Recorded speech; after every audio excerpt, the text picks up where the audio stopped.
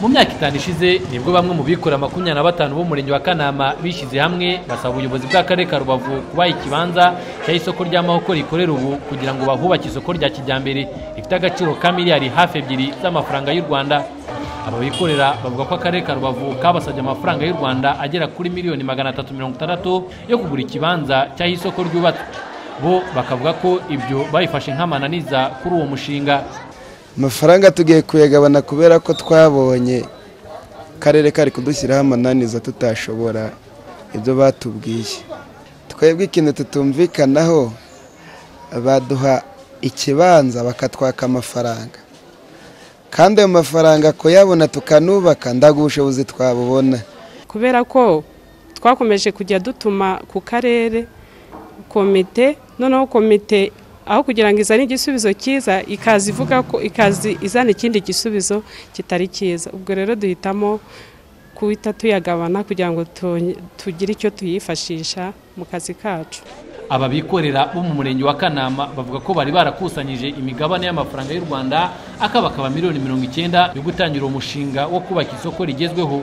Ndetse bemeza ko harimwe muri banki yari yemeye kubaha inguzanyo y'amafaranga asigaye kugira ngo batangire kubaka iri soko.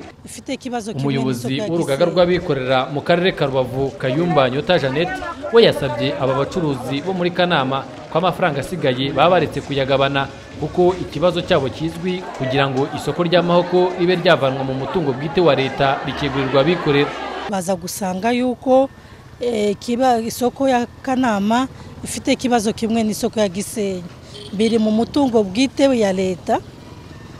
Dosiye nk'uko bari gukurikirana dosiye y'isoko ya gisenyi n'uko bari gukurikirana hamwe n'iyi dosiye y'isoko ya kanama. Kugira ngo ive mu mutungo bwite bwa leta ize mu karere.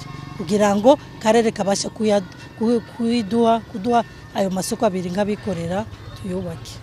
Umuyobozi w'akarere ka rubavu habyarimana gilbert nawe avuga ko hakiri icyizere ko iryo soko ry'amahoko rizegurirwa abikorera mu gihe cya vuba. Icyo twifuza ni uko bumva inzira binyuramo igomba kubahirizwa kuko ni umutungo wa leta. Umutungo wa leta buryo ni ukugira ngo binyurwe binyuzwe mu nzira nyazo zubahirije amabwiriza n'amategeko kugira ngo hatagira umutungo wa leta uhungabanywa n'uwo ari we wese.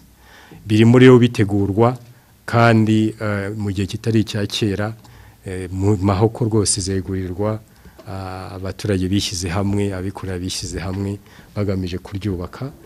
Urugaga rw'abikorera muri uyu murenge wa kanama rugaragaza ko ubu iri soko ry'amahoko rimaze gusaza kandi rikaba ryarabaye rito bitewe n'uko mu nkengero zaryo uhasanga abasigaye bacuruza ibicuruzwa bitandukanye cyane cyane mu mihanda ikikije iri soko. Ibi bigateza ubucuruzi bw'akajagari. Bakemeza ko ryubatswe kijyambere ryakemura ibyo bibazo. Fred ruterana mu karere ka rubavu.